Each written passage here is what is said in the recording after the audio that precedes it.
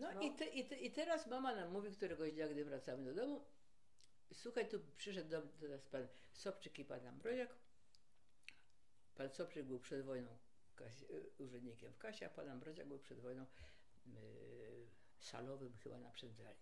Wrócili do pracy, bo w czasie wojny nie pracowali. Proszę, we dwójkę przyszli. Mama nam to opowiadała, bo była sama w domu. Przychodzi pan Sobczyk i pan Ambroziak, obydwu znała bardzo dobrze, z kluczem. Koniec, koniec stycznia, przełom lutego. Klucz do fabryki, że pani przyszła zarządzać. A na co moja mama bardzo przytomnie powiedziała, proszę panów, jestem wzruszona i bardzo panom dziękuję, ale to nie te czasy. No to kto będzie rządził? No to pan będzie dyrektorem administracyjnym. A wrócili z kluczem i powtórzyli. Wobec tego robotnicy kmianowali. I pi pierwsze, pierwsze zaświadczenie z pracy, które mam jeszcze na początku lat 40 po wojnie, to jest podpisane przez Abroniaka.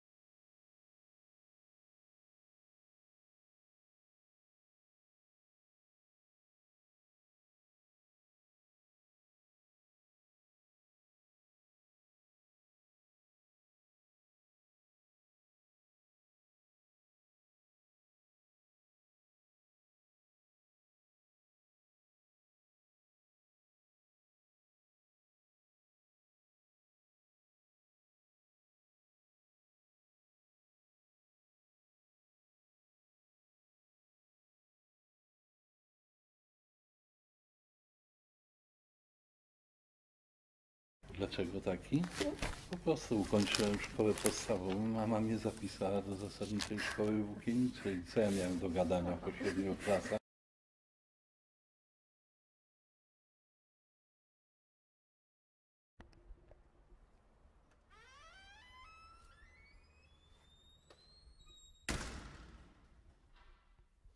Zadałam studia 40 lat przez 3, przez 3 miesięcy. Więc także dobrze nawet może, że i tak zmieniłam na taką, która mi odpowiadała.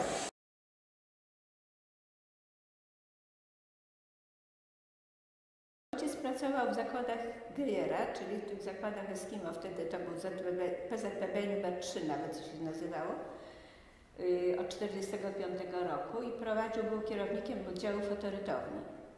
Czyli to jest taki oddział, który zajmował się przenoszeniem wzorów z projektów na formy drukarskie. No, lubił bardzo to, bo był zawodorytownikiem ojciec. I ojciec bardzo lubił tę pracę i właściwie i tak żył tę pracę, także ja właściwie też byłam zorientowana i sobie tak w takim razie idź na włókiennictwo, skończysz będziesz ze mną pracowała. I tak się stało. Stwierdziłam, że mi jest wszystko jedno. Jeżeli nie mogę iść na łączność, to sobie pójdę tak, jak mi ojciec zaproponował. I poszłam na, na, to, na to włókiennictwo. Poszłam. poszłam na chemiczną technologię włókna, to się nazywało wtedy, czyli tak zwane wykończalnictwo.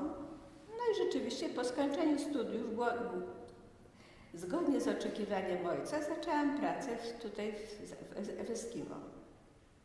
Czyli można powiedzieć, że mam bardzo nudną tą karierę, bo pracowałam prawie 40 lat bez trzech miesięcy w jednym zakładzie.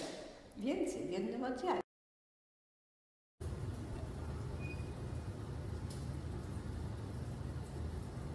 Z 1960 roku rozpocząłem pracę zawodową w zakładach przemysłu bawełnianego imienia Jana Markowskiego, jak to się po tych czasach nazywało.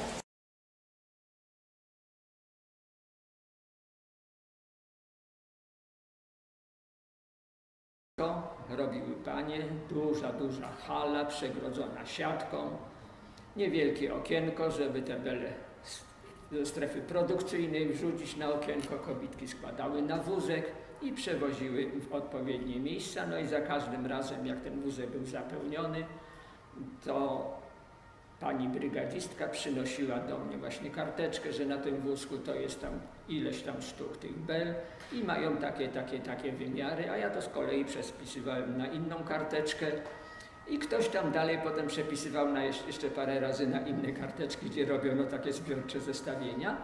Więc praca była prosta, prymitywna, nie za dobrze płatna, no ale przy, przy tej całej pracy no, znalazło zatrudnienie co najmniej pięć albo sześć osób, co w zasadzie równie dobrze mogła robić jedna osoba. Ale takie były wtedy czasy. Nie można było mówić o tym, że jest bezrobocie, każdy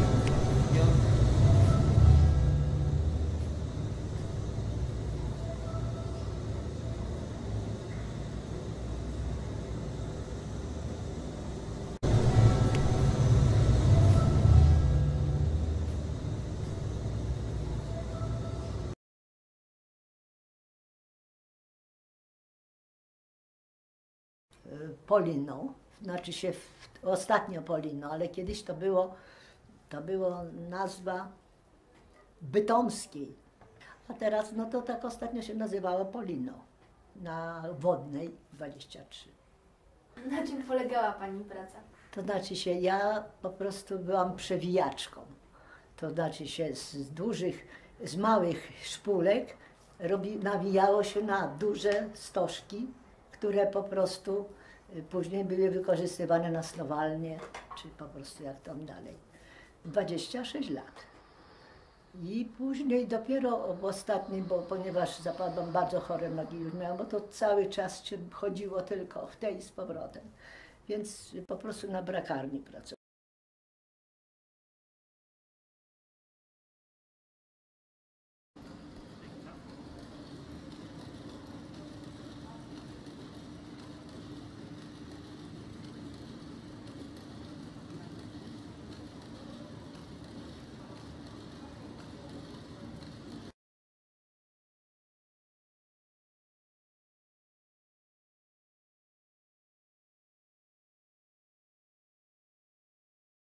I po skończeniu, powiedzmy, ty, ty, gimnazjum, po zdaniu egzaminów, liceum już było po południu, czyli do południa y, było się wolnym. Ja zacząłem w 1948 roku, y, kiedy zacząłem chodzić do liceum, pracować w zakładach przemysłu dziewiarskiego imienia Marii Konopnickiej. To jest Wólczańska, chyba 128, dawny przedwojenny Daube.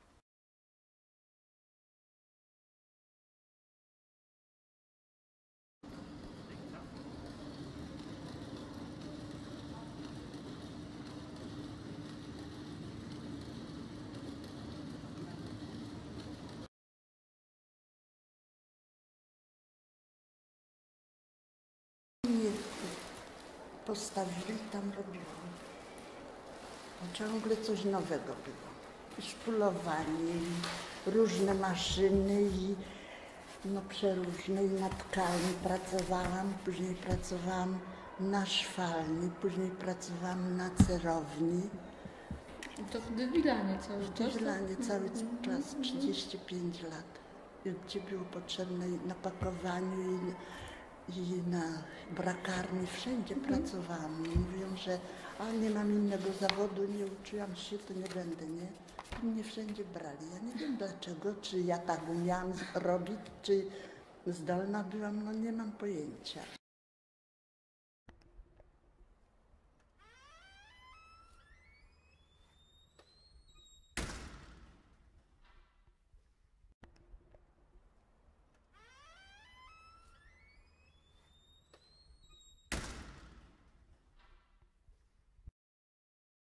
Jestem inżynierem elektrykiem. Przeszedłem przez wszystkie wydziały dużej fabryki włókienniczej.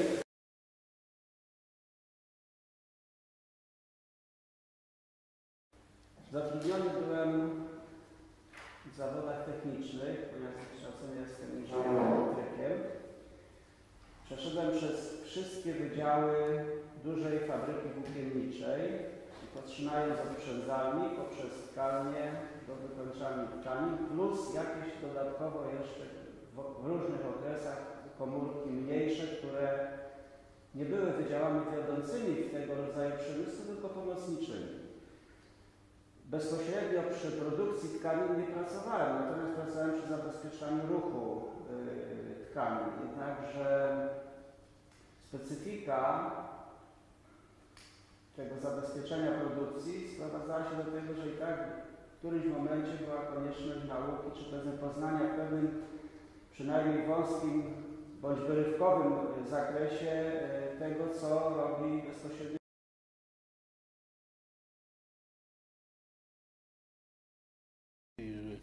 Najpierw musiałem być tkaczem, potem zakładaczem, potem mechanikiem maszyn, potem mistrzem i wszędzie szkolenia, egzaminy i potem mistrzem no,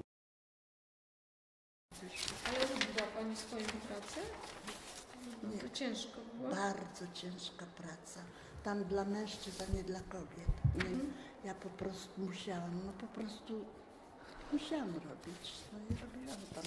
Przyszli raz, to pytali nas, jaka, czy ta praca jest ciężka? Ja mówię, bardzo ciężka, bo przecież dywany są strasznie ciężkie. Jak na przykład to jest cerownia. A na tkalni jak robiłam, no to nie dwie robiłyśmy na, na tkalni.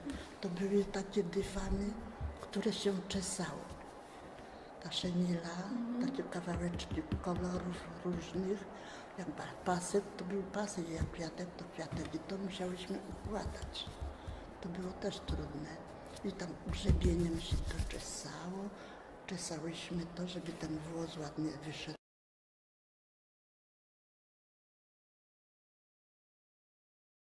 To znaczy, że wie pani, dźwigać tam, no ten, na Brekanie to było to, że się trzeba było dźwigać, a tutaj no to nie było tak, bo przywieźli, podstawili tego i po prostu nie było to takie trudne, żeby tego, bo się wrzucało, oni to już był taki, co zabierał, wszystko nic się nie dźwigało. No tylko, tylko tyle, że, że po prostu bez przerwy trzeba było chodzić, chodzić. Dzisiaj nie chodzę przez to.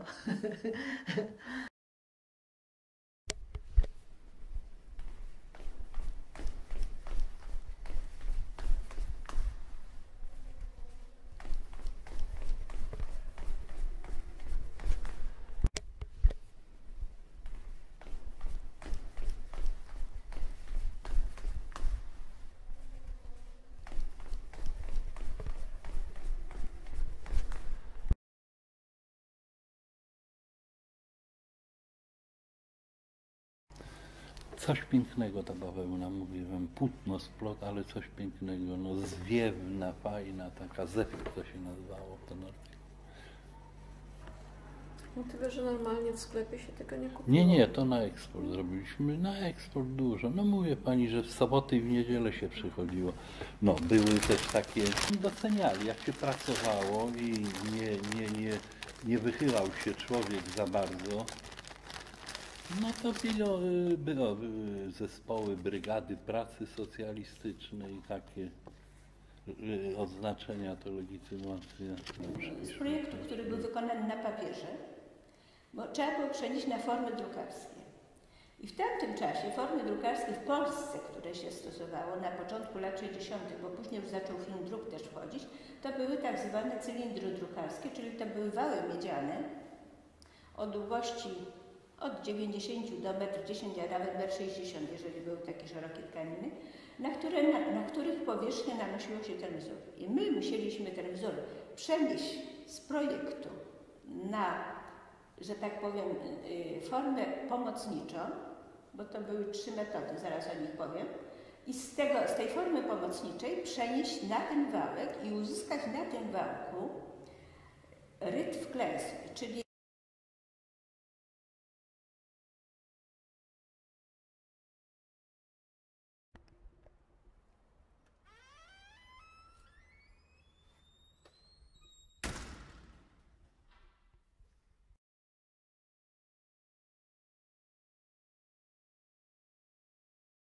W całej fabryce elementem takim, który nawiązywał bardzo do przeszłości, to była tkalnia przy ulicy Kilińskiego, ponieważ tam wtedy, jak, za, jak znaczy w momencie, kiedy zaczynałem pracować, tam była jeszcze bardzo duży, duża ilość krosień, które pamiętały czasy mocno przed II wojną światową, a nawet chyba sięgający początku XX wieku.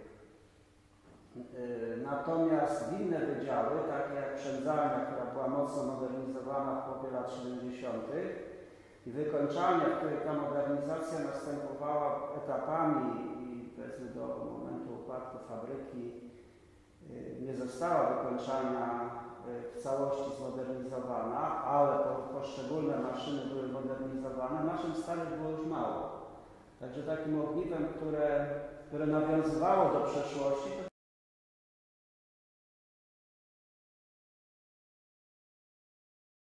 zrezygnowałem z pracy u, u, Konopnickiej i zacząłem pracę w Instytucie Włókiennictwa. No, y, tam już powiedzmy byli na kierowniczych stanowiskach ludzie, którzy się na włókiennictwie znali. No, nie bez znaczenia, powiedzmy naszym y, dyrektorem zakładu standaryzacji był inżynier Antoni Gajik. Surowce włókiennicze on zresztą napisał. Potem był Łagowski i i też i, i, Szymański. To byli ludzie, którzy w czasie wojny przeżyli w Oflagu. I tutaj powiedzmy y, pracowaliśmy w, w normalizacji, to znaczy opra-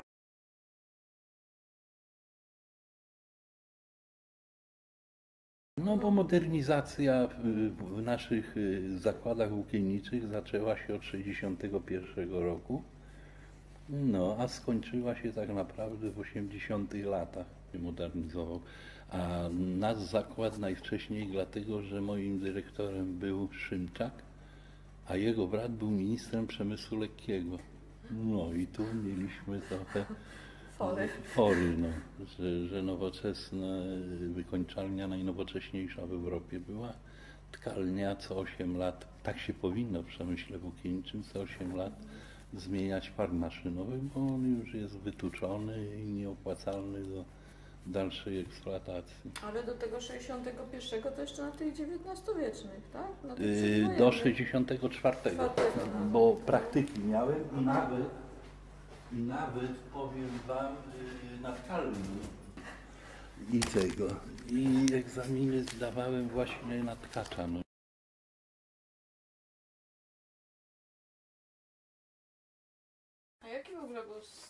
Parku maszynowego? To były wszystko maszyny mm, przedwojenne, prawda? Bo przecież po wojnie myśmy tutaj, wprawdzie tutaj zaczęto trochę w Łodzi budować maszyny te saneczkowe.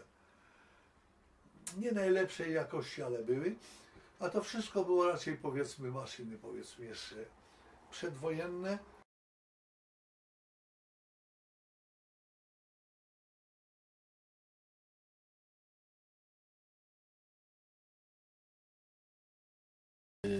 Na wszystkich działach, na przędzalni, zapylenie, wilgotność, huk, szum, temperatura bardzo wysoka od silników. Na tkalni to samo. No. Jeszcze dochodził większy huk. Znaczy, przy Krośnie na przykład silnik był 4 kW i ja miałem 320 krosin pod y, swoją opieką i 8 mistrzów, no nie? No to y, teraz możecie sobie wyobrazić, jak od, y, taka pogoda jak dzisiaj było na sali, jak było od samych silników. No, jak, jak, jak gorąco. Klimatyzacji nie Była klimatyzacja, ale ona nie nie, i to naprawdę dbali, bo lód przywozili latem, no nie, i rozpylacze na salę musiały być, dlatego że bawełna ma to do siebie, że jak jest sucho, to, by leżał na krośnie, wszystko by się rwało, no nie? Dlatego musiało być bawełna nawilżana. No ale to nic nie dawało, naprawdę. Bardzo warunki trudne. No i choroby zawodowe od tego, głuchota, pylica płuc, żylaki u kobiet. Młode dziewczyny robiły tam po 5-6 latach, mimo że dostawały pończochy takie specjalne, no nie, zatyczki do uszu.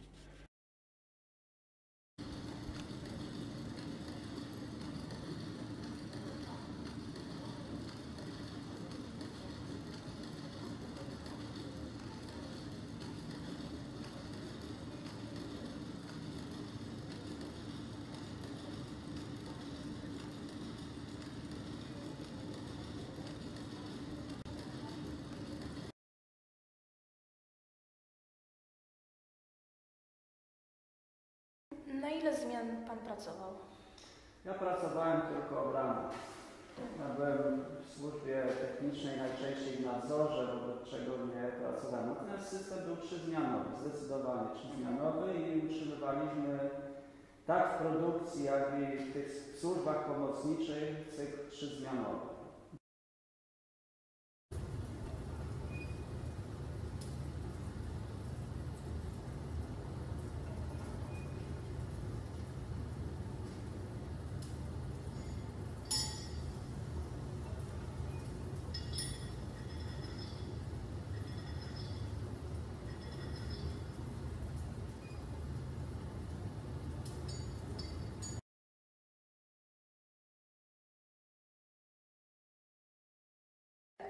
Przede wszystkim były y, kwas azotowy, kwas solny, kwas, kwas siarkowy, przy y, y, na przykład. Były pary chromu przy chromowaniu na przykład, które są karcerogenne, wiecie co to jest, prawda? Czyli rakotwórcze. I na przykład osoby, które tam pracowały, powinny pracować w maskach, bo one nawet jeżeli by się, albo, całe to walne do chromowania muszą być z bardzo dobrymi wyciągami, żeby pary chromu nie wchodziły do nosa, bo długie przebywanie może powodować przeżarcie mm, przegrody nosowej. No poza tym amoniak to może mniej, no bardziej wonny, prawda? Y, No ale również są, y, są y, związki y, aromatyczne, czyli te benzen, ksylen, toluen, które też nie są obojętne, są osoby uczulone na te związki. Poza tym tulen, taulen i ksylen również są związkami kancerogennymi. Więc tych zagrożeń jest dużo.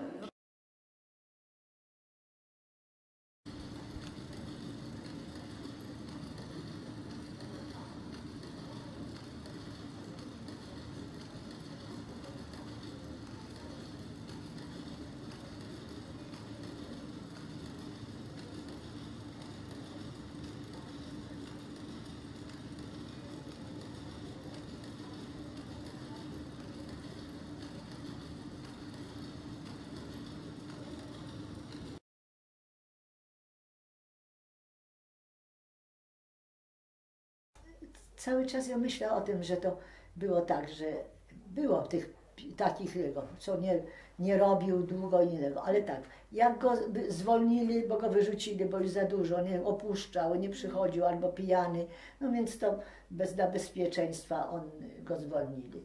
Ale poszedł do drugiej fabryki i wie pani, go przyjęli i pracował, także że nie było tak, żeby takich, żeby ktoś nie pracował. Wszyscy pracowali. Jeden woził e, bawełnę, drugi, wie pani, szpulki i, i wszyscy mieli zajęcie. Bo chyba, że coś, nawet jak coś ukradł, tam wie pani, wziął co tam ukradł, kawałek tam jakiejś szmaty czy czegoś ukradł, to go, to go wyrzucili, bo, bo no ale w drugim miejscu go przyjęli. Tak, żeby nie było bez pracy, tak jak teraz, że nie ma pracy. Zresztą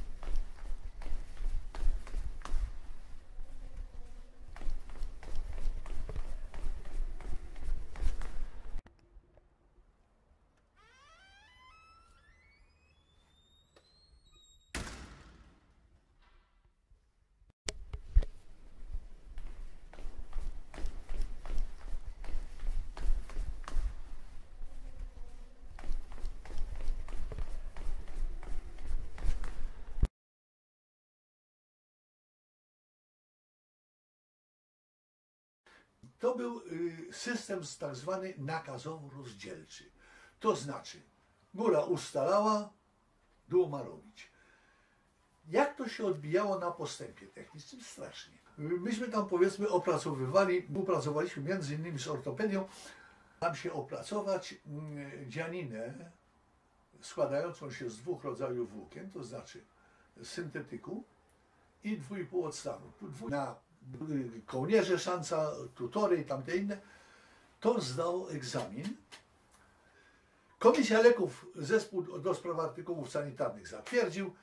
Ortopedzi powiadają, fajno, my potrzebujemy tego 4 tony w ciągu, w ciągu roku.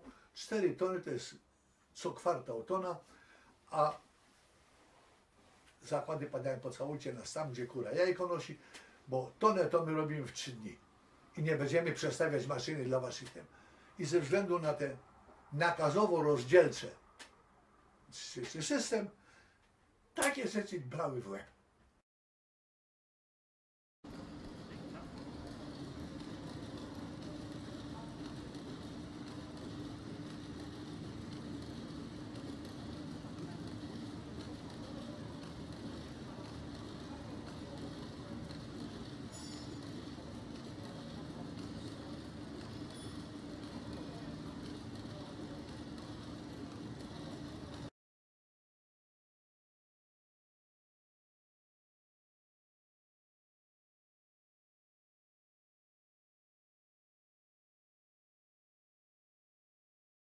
Zdarzały się. W większości przyczyną była nieuwaga lub głupota pracownika. No tu w przemyśle włókienniczym te wypadki nie były aż tak straszne.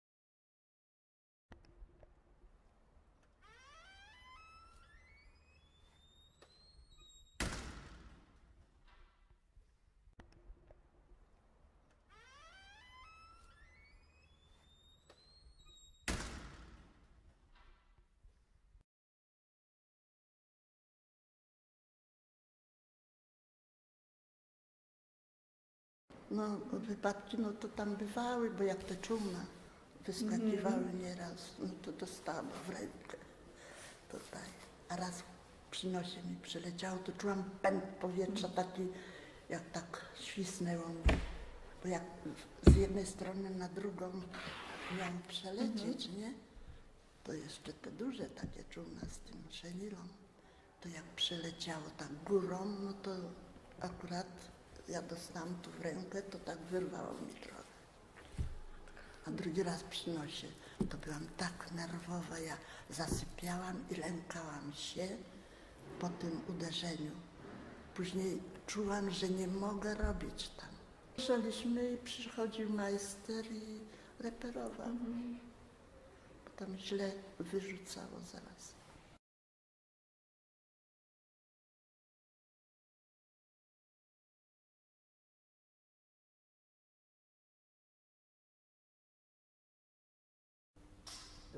Praca pracownika, którego wtedy się klasyfikowało jako pracownik fizyczny, czyli pracownik pracujący w produkcji,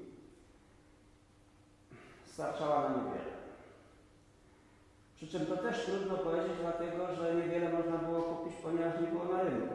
To też jest powiedzmy pewnego rodzaju skala odniesienia. Natomiast jeśli by porównać siłę nabywczą pieniądza i wielkość zarobków w tamtym czasie i dzisiaj, przy założeniu, że w tamtym czasie byłoby tyle towarów co dzisiaj, to może byśmy się kręcili koło tego samego. Jeśli chodzi o rząd wielkości, ja to odnoszę do momentu, dopóki fabryka pracowała, czyli przed upadłością. Już wtedy na rynku było więcej i to tak starczało na to, żeby, żeby opłacić jakieś tam czynsze i niewiele kupić. Niewiele kupić czy niewiele oszczędzić.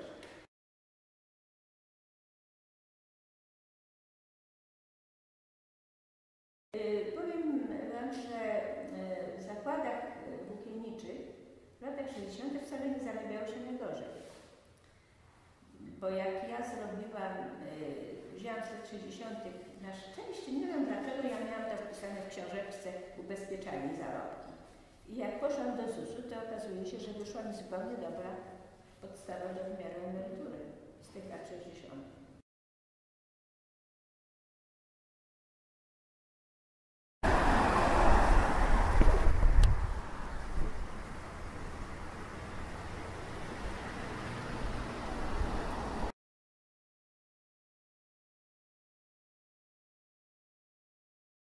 A, no pensja to starczała, ja nie wiedziałem co z kasą robić. No.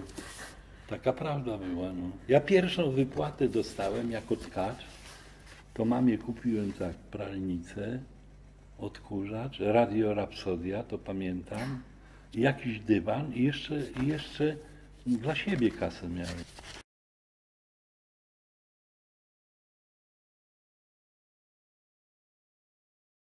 Zarabiało się, mało się zarabiało, bo jeszcze najważniejsze, że jak się nie wyrobiło normy, to było już po, po premii. No taka chodziła, dochodziła premia, no to było, ale no ja wiem, ja mogę powiedzieć, że tak jak myśmy oboje z mężem pracowali, to jakoś koniec końcem wiązało się, no bo ale o tym, żeby kobieta przestała pracować, to wykluczone było.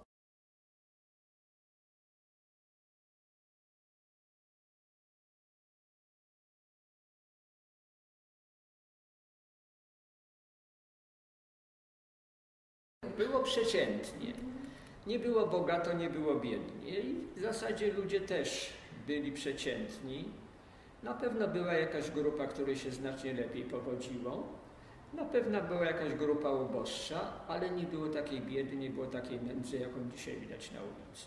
Nie mówię tego, żeby chwalić minione czasy, ale po prostu staram się to jakoś w miarę obiektywnie przedstawić.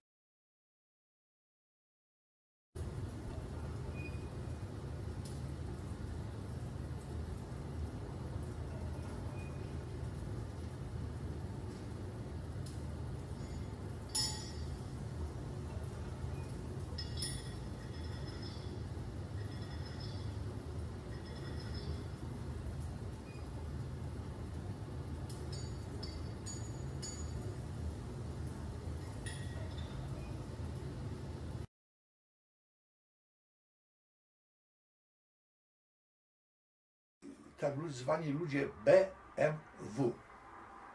Bierny, mierny, ale wierny. To byli towarzysze partyjni. Fachowcy z Bożej łaski, no na przykład u nas powiedzmy dyrektorem naczelnym przez jakiś czas był jakiś tam budowlaniec i no, on miał wyższe wykształcenie, kończył alma mater podstawienzis, wypisywał mi kiedyś przepustkę Jerzy przez Z kropką, to mnie zatkało. No ale tacy byli. Y, Prócz tego powiedzmy byli, no pod dział KAT, to był obsadzony przez ludzi wiadomo, wiernych i był taki później to jak już pracowałem w instytucie, to to był taki mm, ubek, niby coś w rodzaju takiego ubecha. W każdym zakładzie wszędzie była cholerna wtyczka.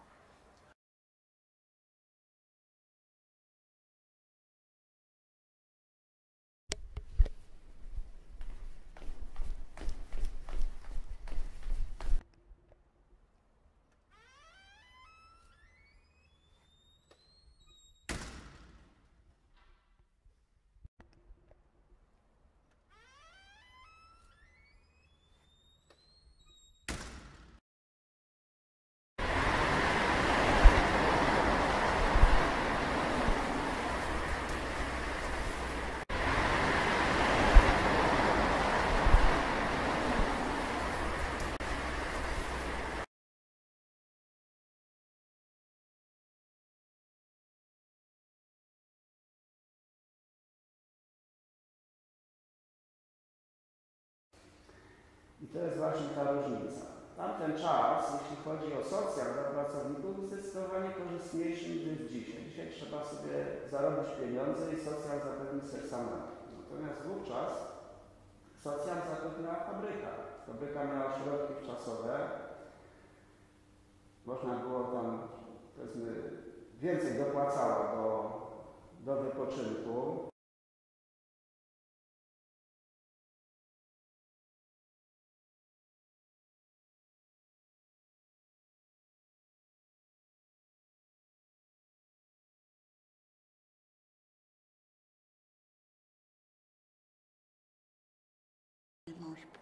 Pieniążki, żeby te odciągali tym właśnie mężczyznom, którzy nie mieli dzieci, to odciągali, żeby te dzieci, które, y, matki, które miały dzieci, no to już dostawały te pieniądze i wyjeżdżały na kolonie.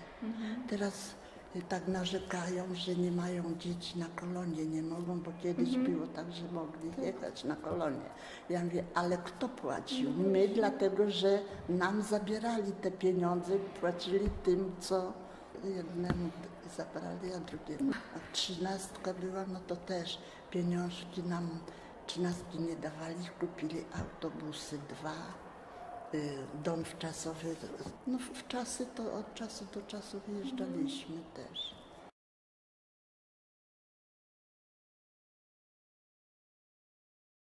Fabryka miała y, jeszcze do powiedzmy początku lat 80. funkcjonowały żłobki tygodniowe utrzymywane przez fabrykę. To znaczy matka mogła dziecko zawieźć w niedzielę wieczorem do żłobka i odebrać w sobotę o wpół do drugiej, jak skończyła zmiana na przykład. Mogła w ogóle się w tym żłobku nie pojawić przez tydzień. Te żłobki tak funkcjonowały. Znaczy to, to, to było już, już wtedy było w zaniku, a takie normalne żłobki, rano dziecko do żłobka po pracy odbierane, to były wokoło fabryki, blisko miejsca pracy, ba. Y, Chodziłem do, ja chodziłem do przedszkola dwa lata przed pójściem do szkoły, do fabrycznego przedszkola na rogu Sienkiewicza i to jest Wigury.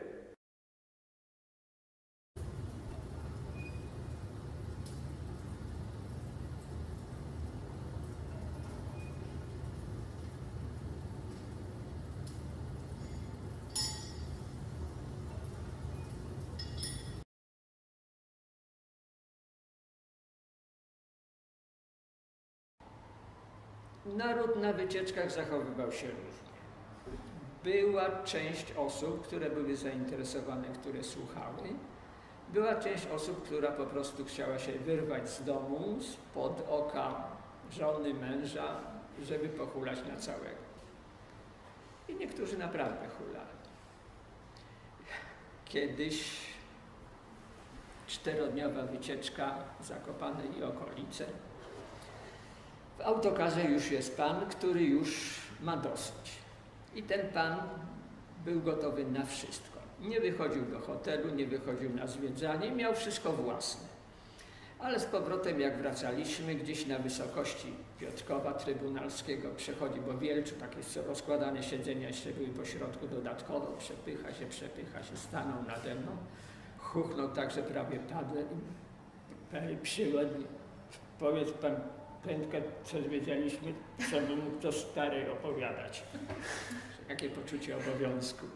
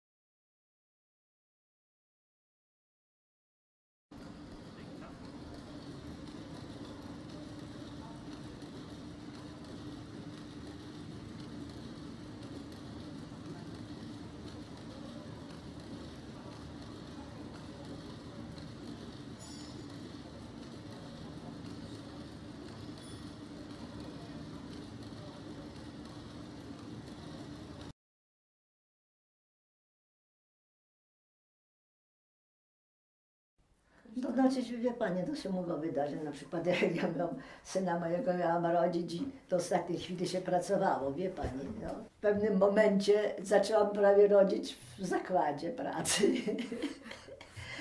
I ja już mówię, że trzymałam się tylko, bo czułam, że już, że już się coś dzieje. To potem bardzo się zmiana wchodziła i ja wchodziłam. I ja prędko już wychodziłam. Jedna, jego pani, taka znajoma, ja mówię, niech mnie pani odprowadzi do domu, bo ja boję się tego. Ona prędko mnie odprowadziła. No i później się szum zrobił, bo sekretarz partii powiedziała, jak można było wypuścić ciężarną kobietę, żeby jakby się coś stało i tego. No ale nic się nie stało. Ja przyszłam o, po, przed pół do, o pierwszej, a już o czwartej urodziłam syna. No.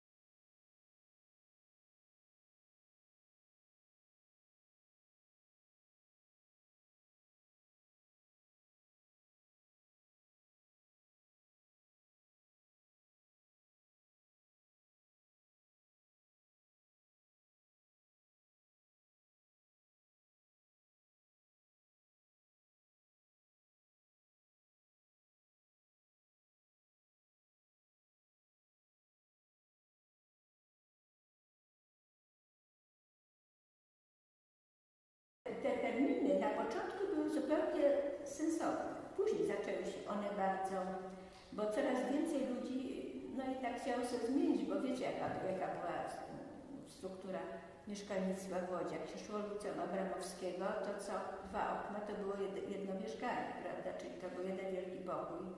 No ludzie chcieli mieć łazienki, ubikacje. No więc no, gdzie mogli się przeprowadzić? Nie, nie musieli w plicach palić, no to do bloku.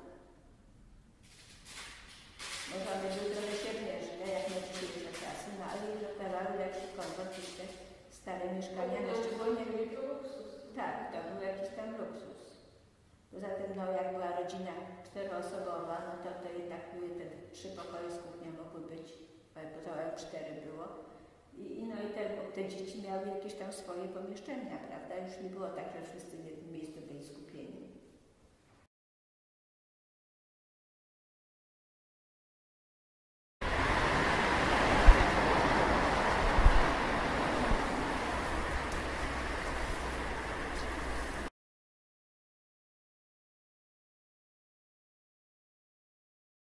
Po ośmiu latach dostałem telefon. A mieszkałem tam w sumie lat 11, potem przeniosłem się na Redkinie, gdzie jeszcze dłużej czekałem na przeniesienie telefonu tym razem. Mieszkanie mało miało 38 tam metrów z centymetrami. Chodziło się do maleńkiego przedpokoju, gdzie na wprost była łazienka z ubikacją. Po prawej stronie były drzwi do dużego pokoju, tam gdzieś koło 13 metrów kwadratowych. Na wprost były drzwi do drugiego pokoju, który nazywaliśmy tramwajem, bo był tak 2,5, może 2,60 szerokości i ponad 5 metrów długości. Niewielka loggia. A z tego dużego pokoju jeszcze było po lewej stronie wejście do kuchni, gdzie wbudowany był piekarnik, ale gdybym kupił typowe kuchenne meble, to ten piekarnik by mi się otwierał może 15, może 20 centymetrów.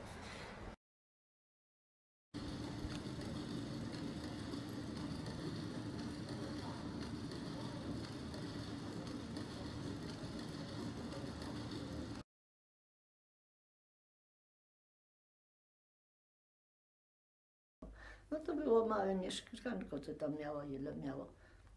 4 metry długości, a, a 2,5 chyba szerokości, czy 3, 3 metry. No także. To tam na nowej, tak? Tak, na nowej. Jeszcze na poddaszu, bo to było poddasze. Także. Na podwórku była woda, podwórku, ponieważ się studnia popsuła, więc później było tak, że trzeba było, przychodził hydrant, był taki na ulicy od tych ciągów i przychodził pan, który sprzedawał wodę, bo tak się mówiło, bo się biało numerki i potem i trzeba było, jak on dwa razy dziennie przychodził, więc po prostu, żeby jak czy pranie, czy coś, to trzeba było tam tej wody nanieść, po takie dużą wannę mieć w domu, żeby po prostu, wie pani, starczyło i no, jakoś tam ani nie było. No ale później stopniowo, stopniowo już zanim się stamtąd doprowadziłam, to już była pralnia, już postawili pralnię już. No i o, przede wszystkim nie byłem, nie miałam, zaczęli robić remont i zrobili na korytarzu wodę. To był już luksus bo wtedy nie było można ścieków wynosić na, na, na zewnątrz, tylko do zlewu wylewać. Obligacja to w podwórku, takie jak komórki po prostu to było wydzielone i każdy tam, kilka osób do jednej obligacji należało. Trzeba było czystość trzymać, no to karteczka taka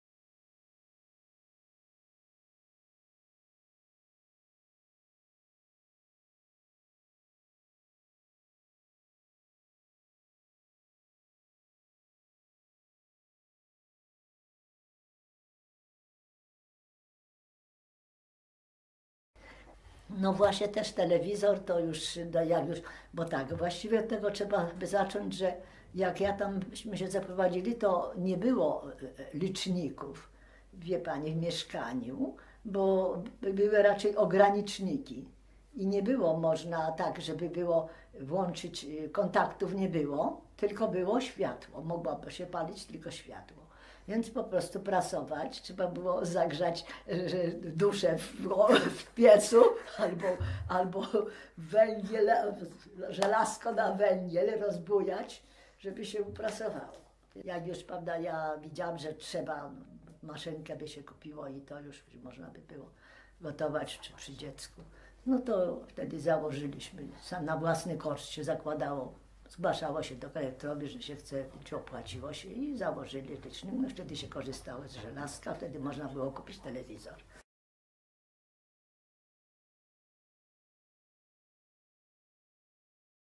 A pralkę? Kiedy miał pan pierwszą? Proszę pani, pierwsza to była Frania. Taka pralka była. Frania, proszę pani, zamiast na tym to, proszę pani, była tak, że to się prało, no, wyziemaczka wykręcało się. To była taka pierwsza pralka. To były lata 50. A telefon w mieszkaniu? Po znajomości. Proszę pani, bo tylko się tak załatwiało, a załatwiłem po znajomości, bo w redakcji Dziennika Łódzkiego pracował mój kuzyn, a on był cholernie pobożny partyjny. Ale telefon załatwił. No tak, jak mówię, tego potrzebowałem, no to tyle, to tyle.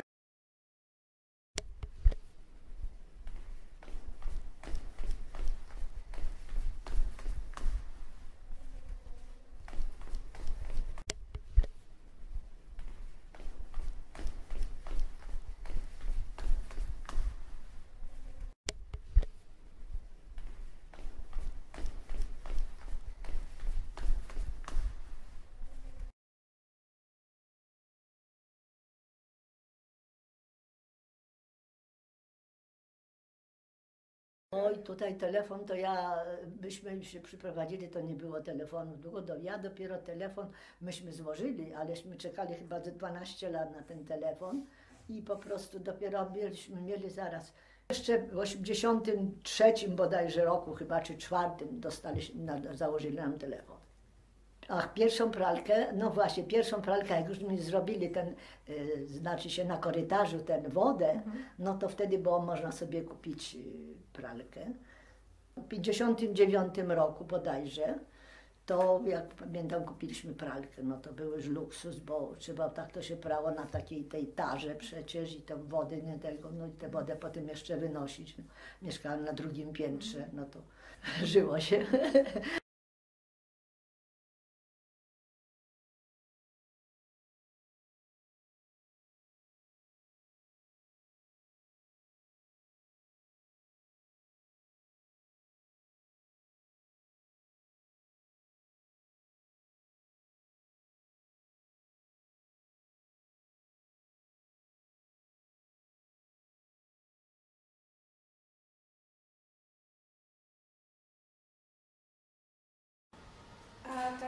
Takiego zwykłego robotnika było stać, żeby kupić sobie samochód, y, żeby jeździć do pracy, czy komunikacją miejską? Raczej nie, komunikacja miejska. Y, Dyrektor zakładów Marchlewskiego, no, jednych z większych zakładów łódzkich, miał służbową Wołgę. Drugi y, samochód reprezentacyjny to był samochód marki Warszawa M20. Jeżeli wiecie, jak wyglądał ten samochód. To były dwa jedyne samochody, które służyły do dyspozycji kierownictwa zakładu. No poza tym, jak mówiłem, mieliśmy kilkanaście samochodów typu Star, kryte wywrotki i były bodajże dwa albo trzy samochody typu dzisiejszych pick-upów.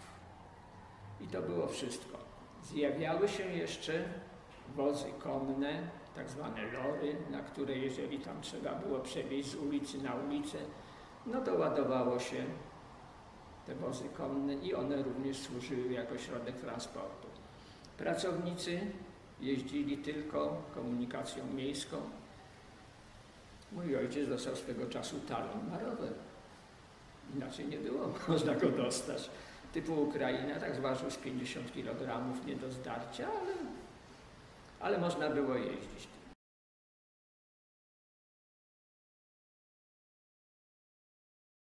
Ja pierwsze lata mieszkałam bardzo blisko, miałam 5 minut na pieszo, na Nowej mieszkałam, a na Wodną to było bardzo blisko, więc po prostu zawsze w ostatniej chwili mogłam lecieć, jak dzieci były małe i zdążyłam.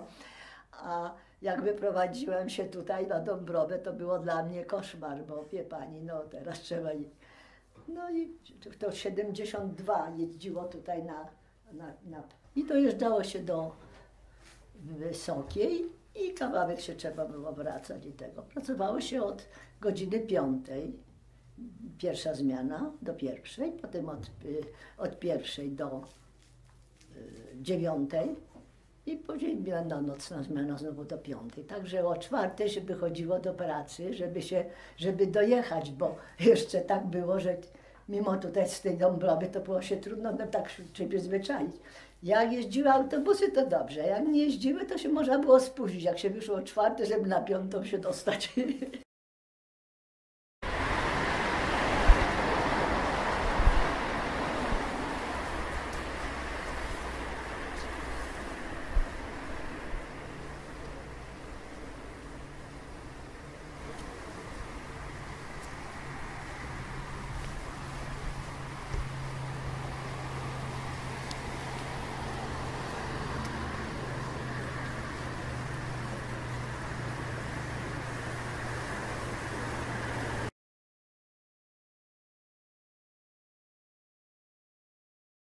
Miałam samochód od 71 roku.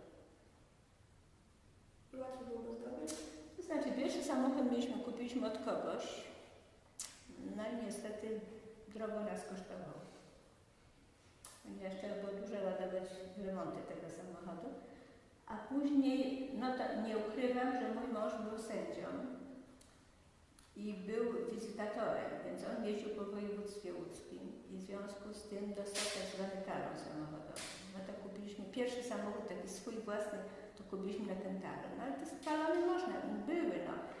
Yy, Poza tym, no, a później to już kupowaliśmy normalnie, na przedpłaty.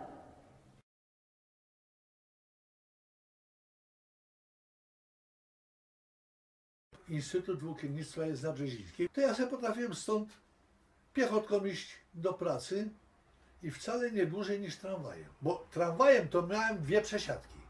To musiałem tutaj zdążyć do tramwaju, dojechać tam, jak mi tramwaj z przednosa zwiał, to musiałem czekać na następny. Dojechać do dołka, jak to miałem koło, koło, koło yy, dołów, przesiadka na autobus i do instytutu. To ja w tym samym czasie dochodziłem pieszo. Także ja powiedzmy, ponieważ mieszkałem w centrum, w centrum pracowałem, to ja nie miałem powiedzmy problemu. A tam no to tramwajem. Tramwajem autobus.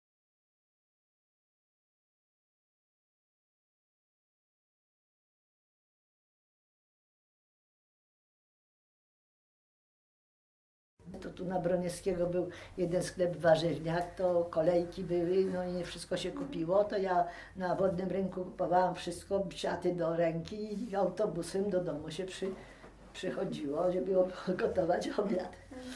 Co było najtrudniej kupić? Najgorzej to było, czy jak przychodziły święta, no to już to zrozumiałe, kolejki i w ogóle, żeby coś kupić tam, takie do pocz- takiego podrzędnej obiadu normalnie codziennie, to, to prędzej, ale żeby tak coś dobrego kupić, to no, chociaż było kilka tam rzeźników już tak stopniowo.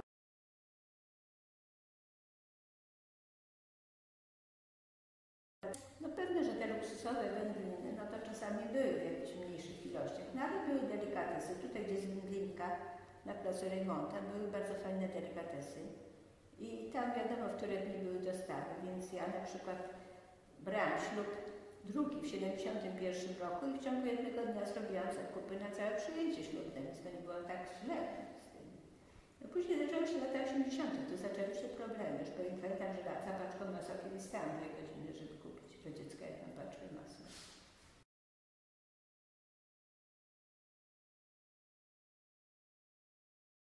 Jak ja pracowałam zaraz na początku, jeszcze u tych studentów, to nie mieli czym płacić, to nam zapłacili materiałem, no to na trzy sukienki dostałam. Buty, w ogóle nie było butów, robili szmaciaki takie.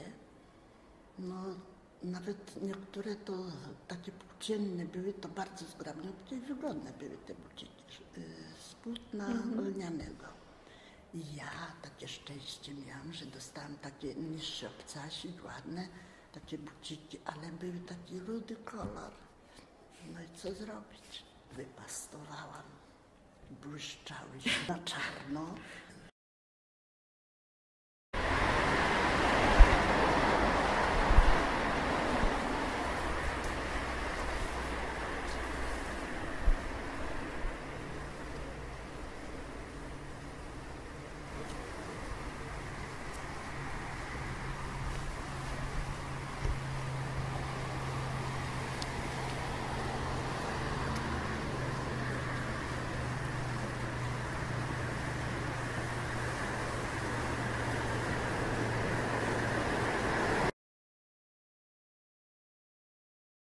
Trudno to było kupić luksusowe wyroby, bo trzeba było mieć albo dolary, albo rodzinę mm, za granicą, która przesyłała e, powiedzmy tego i wtedy tu się dostawało bony dolarowe, nie? No i w Peweksie można było kupić za dolary. No to wtedy można było kupić ten, no tak, no to to, co było ogólnie dostępne. Jakiś powiedzmy taki lepszy, luksusowy, no powiedzmy ja dla dzieci powiedzmy to yy, kupowałem kakao, powiedzmy, bo to tylko tam można, powiedzmy gdzieś tam na lewo kupiłem powiedzmy dolary czy te bony powiedzmy i tam kupiłem, żeby dzieciakom powiedzmy coś tam dać. No to tylko w ten sposób było, bo to, to było tylko dla uprzywileju. A no i, towarzysze w Białym Domku, ale jako Kościuszki, no to mieli swój tam sklepik na dole, prawda, to oni tam mieli wszystko. No a ja tylko to, co w sklepie.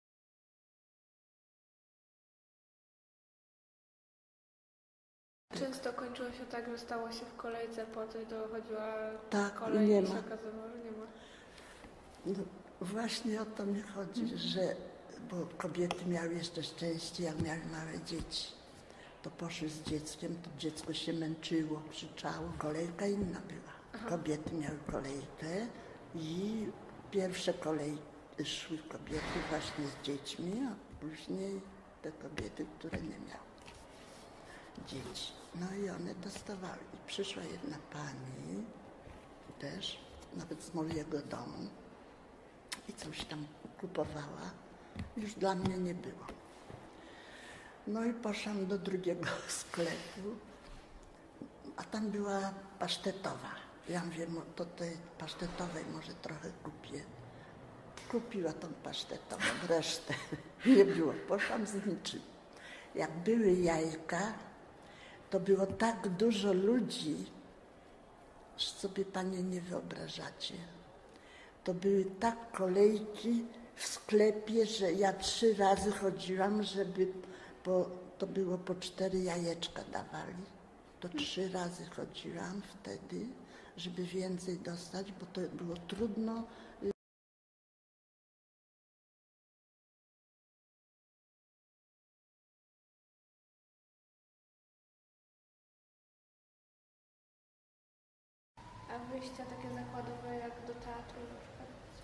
Też były. To znaczy nie było gromadnego wyjścia, ale były bilety na jakieś tam spektakle, można było te bilety otrzymać.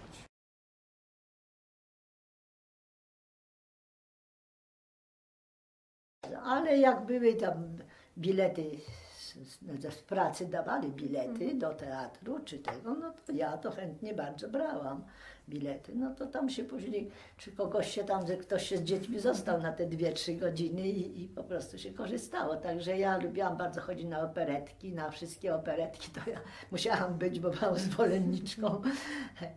A wie pani, do kina, no to do kina to to było. Mój mąż był specjalnie kinoman, bo on mogło nie być biletów, brakować, ale nie wiem, uśmiechem jakimś do kasjerki zawsze bilety kupił.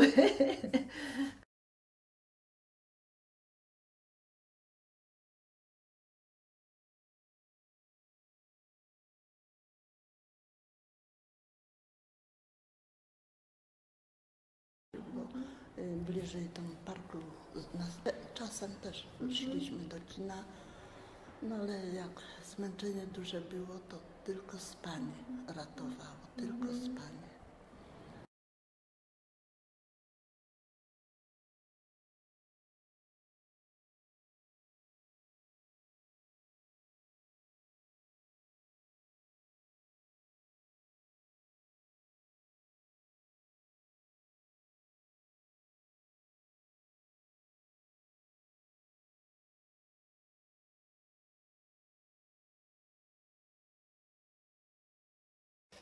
Czy musiał pan chodzić na pochody pierwszomajowe? Ojej, jak! Lista obecności była sprawdzana, skarbie mój ty. Abym spróbował nie iść. Chce pani zdjęcia zobaczyć z pochodu pierwszego? Pani pokaże. A łaskę robiłem, że szedłem. A, Z obowiązkowym entuzjazmem, rzecz jasna. Nie, dobrowolnie. Myśmy dobrowolnie chodzili. Nic, pod przymusem, tylko lista obecności była sprawdzana. Nic poza tym.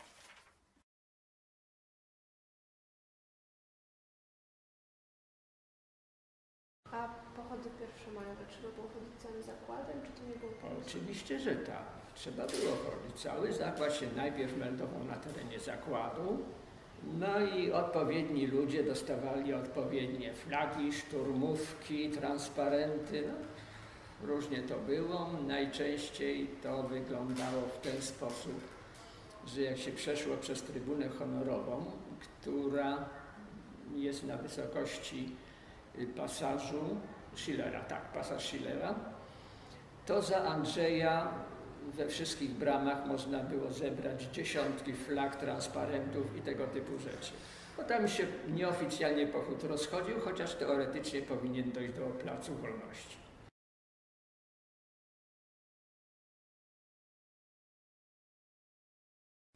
Chodziła pani na pochody pierwszomajowe?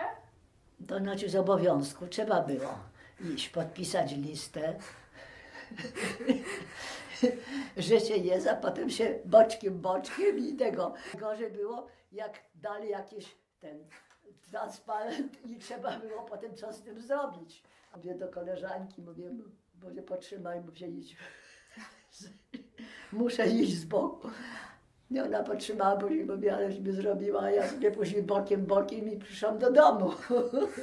A ona została, nie wiedziała, co z tym zrobić.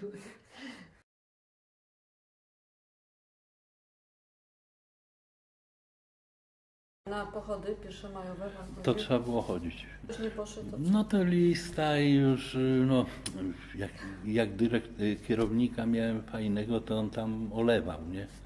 Jak to się mówi slangiem młodzieżowym.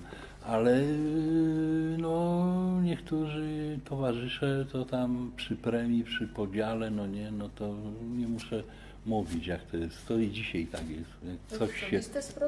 Nie, no ale no nie znał swoich ludzi, no. Co, co, co.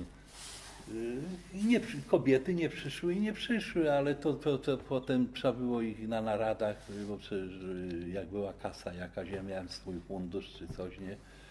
I wołali nas y, co, co miesiąc przed wypłatą na naradę, no to no tutaj pani Jarmakowska nie była na pochodzie, pani Kosiński, ona u pana pracuje. Chyba obniżymy jej premię do 70, bo, bo, bo nie jest za bogata, tam trójka dzieci, chłop pije, no i wszystko wiedzie.